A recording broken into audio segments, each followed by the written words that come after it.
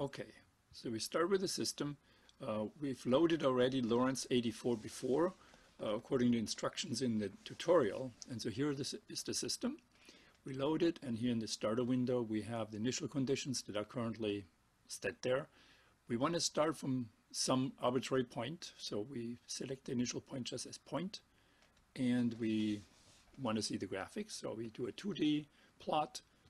We need to set the axes correctly for the x and y coordinates and all the limits. Um, x and y, yes. And we can also do a 3D plot. Um, it's a 3D system, so we might as well do a 3D plot. And afterwards, we'll also have, when we follow the branch, we will have also one of the axes being these control parameters.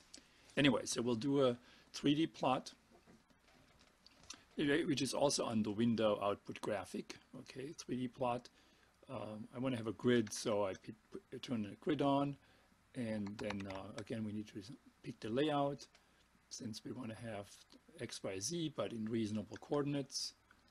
Um, these values were just from a previous calculation. I mean, MatCont always remembers the previous calculations, even if you quit. So you have to pay attention that, that you actually have some certain values. Anyway, so now we pick an arbitrary point as a starting point, not an arbitrary, a point. It's just an initial condition, which is in the starter window. We integrate forward on the compute, and here it is. So it converges to some point, which is now an equilibrium point or a fixed point. And um, we can use that now to uh, continue. So we declare this as an equilibrium point, and uh, when we do that, then we get in the window also parameters f, which we need to click because that's what we're going to use for the branch following. And um, so um, we have the initial point. So we, under the, we pick the last point from the previous simulations just to make sure. So we select that point. So here are the values the coordinates. And so now we see those values show up in the starter window. And um, just to make sure we pick an equilibrium point, and here we have uh, now also selected F to continue.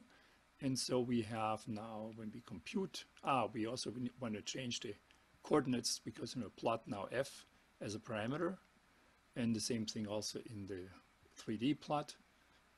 Um, so there we have F in the x-axis uh, going from 0 to 2 say, or maybe 1, whatever, right? And so same thing here, the axis for f uh, from 0 to 2, and then we can compute. Compute, and we compute forward, and uh, sure enough, there's a branch, and it stops in what they mark as LP, which they call limit point, which is the same thing as a fold point, which is the same thing as a saddle node bifurcation. Continuing finds another fold point, and then when you resume further, actually the branch continues and it, find, it finds a Hopf bifurcation and we'll stop here. You could continue further, but uh, this is good enough for right now. And so let's just look at it in 3D. So we see that these LP points are indeed saddle node bifurcations. So you have to look in the right directions, right, in the right projection. If you look in the X and the YZ projection, mm, mm, mm, one can't see that these are limit points you have to look in um, one axis has to be the control parameter f and so indeed in the fz plane you see that these are clearly limit points and so very nice. So now what one can do is one can actually follow these limit points as parameters are changed. That's what we, we've done that in our in our code. We haven't done that. So we start the category is not type is limit point. For that we need two parameters to follow. One parameter be at a limit point and the other to be at a fixed point.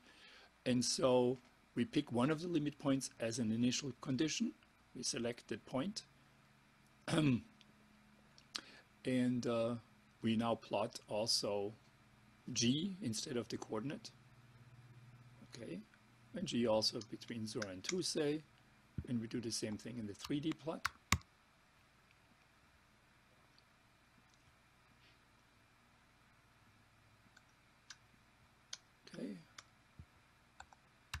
So over there it complains that we still have to select two parameters for following, right? So we want to also select, select G, good, and then we can compute. And so it computes now forward, and that line stops in a point CP, which is called a cusp point. And so you see this is now a line of saddle node bifurcations in the FG parameter plane. Or in the 3D plot, of course, you can also read off still the z value for those things. Now, what happens at this cusp point? Well, let's look at the other limit point and start a branch from there. So we go back in the diagram, we can go to the previous uh, calculation. And there we see, okay, there's the other limit point. We select this as initial condition and do again, well, we have to F and G, both selected and compute forward. And we see another branch, which happens to end in a zero Hopf point, which we will ignore right now. That's not uh, of interest for us right now. We can also simulate backward. And you see the other branch also go to this cusp point. So as a matter of fact, this cusp point is a point where the two node bifurcations annihilate each other. And um, so you have now a range of hysteresis where between the two lines you have three solutions and outside you have one solution each. Um, and the transitional saddle node bifurcations which annihilate at the cusp.